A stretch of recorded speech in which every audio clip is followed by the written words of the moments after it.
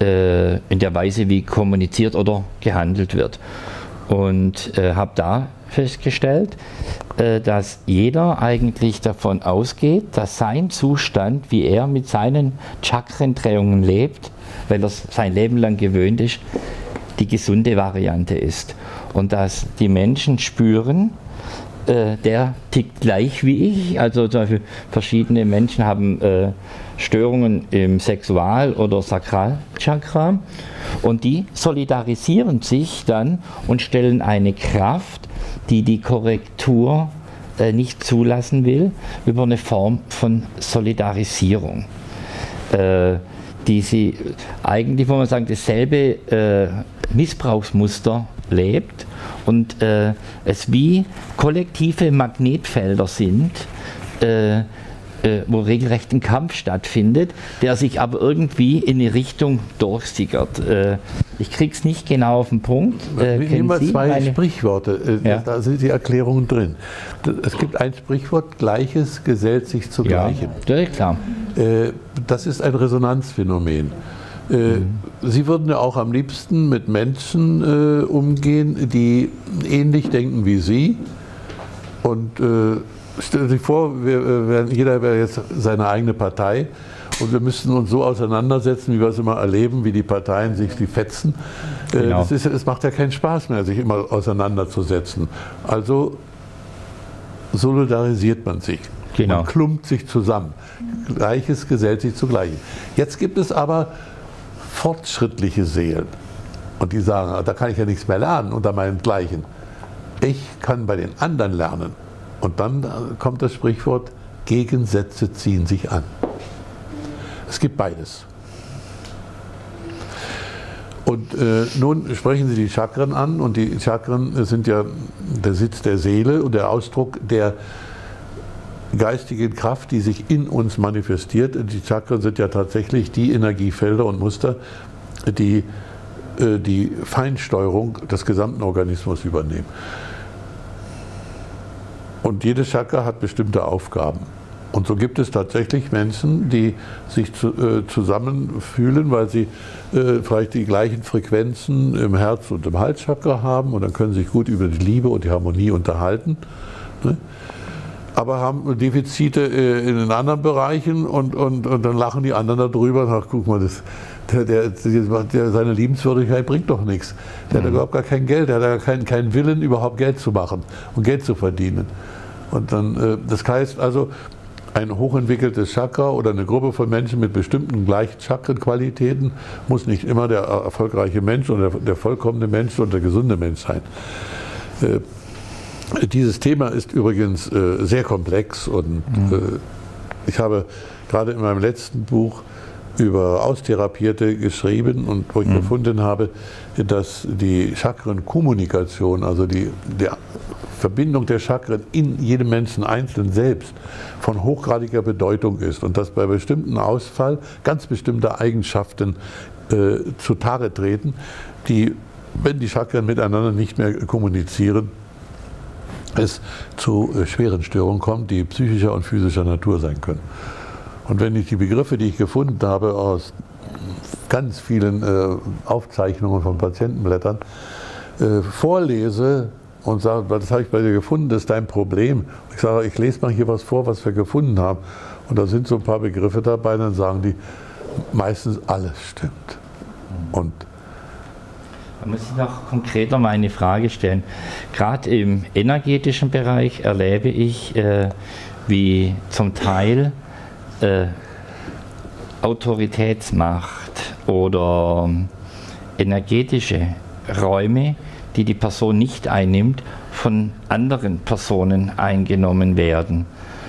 Also wenn jetzt eine Person zum Beispiel seine Männlichkeit oder seine Weiblichkeit nicht lebt, dass das dann stellvertretend der Sohn oder die Tochter macht und dass dort äh, energetisch sozusagen sich äh, einmal bedient wird und ein anderes Mal geliefert wird, habe ich auch beobachtet, kann es aber nicht äh, bis auf den Punkt nachvollziehen. Ja, ich muss dazu aber erstmal was klarstellen. Ja.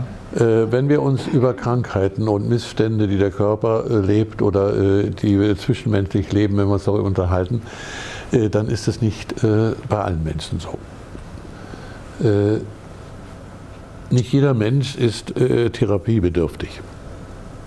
Und wenn er mal krank wird, wird er auch wieder gesund. Es geht bei dieser Frage ganz sicher um die Menschen, die von sich aus selbst, auch mit Hilfe von außen, nicht so richtig klarkommen und äh, immer wieder in Probleme hineinkommen, sei es im eigenen Körper Probleme oder in zwischenmenschlichen Beziehungen oder in Bezug zur Umwelt. Und äh, da hat die, äh, das kollektive Bewusstsein aller Seelen einen, einen Weg gefunden und bringt diese noch unwissenden Seelen, die also echte Probleme noch haben in irgendeinem Bereich, zwischenmenschlich oder am eigenen Körper, äh, bringt sie in Gruppen zusammen und das über mehrere Leben. Und äh, so schaukeln die sich gegenseitig hoch, dass jeder mal das übernimmt und das. Äh, und je enger sie miteinander verbunden sind, sagen wir Familienangehörige, tiefe Freundschaften oder meditierende Gruppen, umso intensiver ist der Austausch. Denn dieser Austausch läuft nicht nur verbal in, in, der äußeren Welt ab, sondern auch in den tief unbewussten Schichten. Wir lernen auf der unbewussten Ebene viel mehr, als wir die, über die fünf Sinne äh, lernen. Mhm. Und äh, so schaukeln sich die hoch. Die, die oh, ich sage es mal ganz brutal, die rotten sich zusammen oder werden in, ein, in einen Verein hineingeschaut und sagen so, ihr müsst jetzt die nächsten drei, vier, fünf Leben erstmal das klarstellen. Mhm. Äh, die Reinkarnationstherapie, äh, und da gibt es seriöse Forschung darüber, die hat ja einiges an, zutage gebracht, dass also die Seelen, die noch einen großen Nachholbedarf haben, äh, ganz schön gebeutelt werden durch Familienangehörige, durch Verwandte, durch Bekannte, Nachbarschaft und alles. Je mehr in diesem Zeug durcheinander geschieht und jemand von anderen abhängig ist, also die, die eigene Macht noch nicht gefunden hat, sondern mhm. äh, machtlos ist, zum Spielball anderer wird, äh, das sind die Seelen, die auf diesem Gebiet äh, viel lernen müssen. Da werden Sie Leute finden, die sind hochintelligent, äh, sind vielleicht Professor an der Uni und trotzdem haben sie im Familienleben ein Riesendrama, weil sie mit dem Zeug nicht klarkommen. Also das hängt immer, wo wir unseren Nachholbedarf haben. Ne? Mhm. Auch das, darüber habe ich schon referiert und auch in den Büchern geschrieben, dass es tatsächlich Menschen gibt, die äh, hoch nach oben geistig streben, hochintelligent sind, aber für die Welt nichts taugen. Ja? Die sind Schmierfinken oder äh, sind so blöd, äh, äh, dass, dass sie mit den Grundbedingungen nicht klarkommen, dass die trotzdem so hochintelligent sind. Und wieder andere gibt, die sind so robust und stabil, die können praktisch alles machen, ihr Körper wird überhaupt nicht krank, aber sind zu doof, das Leben zu meistern. Dem fehlt es dann oben. Okay. Ne? Dann habe ich jetzt noch eine kleine ja, es, es gibt, dazu. Und diese, äh, diese Dinge sind tatsächlich äh, mit unseren Methoden, die wir entwickelt haben, mhm. testbar. Das ja. lehren wir in den Anfängerkursen schon, äh, wie man in den Chakren die Information herausholt, wie man in den Chakren liest, wo hapert es im Bewusstsein. Mhm. Ja? ja, dann sind wir jetzt an dem Punkt, diese Dynamik der Zwischenmenschen, also ich habe es in meinem Umfeld auch erlebt, äh, dass wenn dann einer mal einen Schritt geht, dann gehen alle einen Schritt. Dann geht es so dynamisch weiter. Und wenn man dann das wieder in Frequenzhöhen sieht, kommt ja dann das Déjà-vu und die Synchronizität irgendwann ins Spiel. Können Sie da noch was dazu sagen? Nun, äh, ich äh, versuche es immer mit, mit, mit, der physischen Welt erstmal ja. zu beginnen, damit das versteht. Ja. ja. Denn die physische Welt ist ein Abklatsch der geistigen Welt. Nur, dass wir in der physischen Welt noch unerfahren sind und hier viel Blödsinn machen. Ja oder mehr Blödsinn machen als äh, in den Zwischenwelten. Äh, es gibt ja hier einige äh, Bereiche, äh, die unverständlich sind. Mm, zum Beispiel, mm, einer schreit Heil und alle schreien mit. Und wenn es sein muss, eine ganze Nation. Das heißt, wir sind ansteckbar äh, von bestimmten Gelüsten oder Machenschaften, von Menschen, die irgendwie mehr Einfluss auf die Masse nehmen können. Und meistens arbeiten die in einer Gruppe zusammen. Das einer ein Anführer, die stärken sich und diese Gruppe wird immer stärker und steckt alle anderen an. Bis zur Massenpanik kann das gehen oder dass alle Heil rufen und unvernünftig handeln, weil es äh, ein, ein, ein, ein, kollektives äh, Problem ist. Äh, dieses äh, Problem müssen wir auch in den Griff bekommen, müssen lernen, nicht mehr äh, uns von der Masse überrollen zu lassen, die jetzt im Bewusstsein emotional oder unvernünftig reagiert oder besonders sind äh, Menschen da gefährdet, äh, die streng religiös denken. Dass die von, von, äh, von, von der Masse Gleichdenkender so überrollt werden, dass sie fanatisch werden. Fanatismus ist also die stärkste Form der Unvernunft, besonders in der Religiosität, weil Fanatismus ist ein Glauben ohne Liebe. Man verlässt die Liebe und geht jetzt rein in, in, in, emotionale Ladungen, die aus der, aus der Masse kommen und kann nicht mehr harmonisch, liebevoll handeln. Und diese Ebene, die gibt es auch in Bereichen äh, der wissenschaftlichen Denkung, dass hier bestimmte Erkenntnisse als Doktrin angesehen werden und die unumstößlich sind. Ne? Unumstößlich gibt es zum Beispiel ein, ein Gesetz, man kann kein Patent anmelden für ein Perpetuum mobile.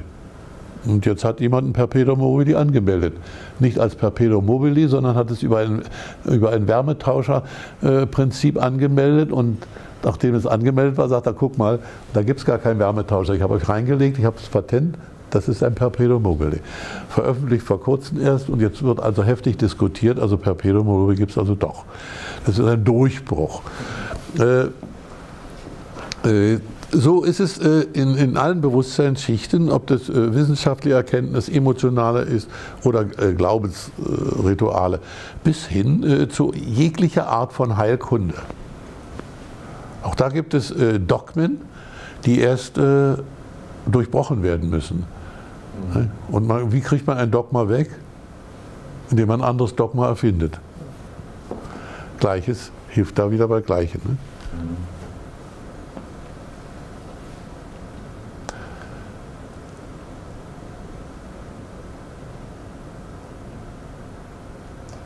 Ich will ihn mal eine ein, äh, Anwendung eines Dogmas nennen, eine Heilkunde.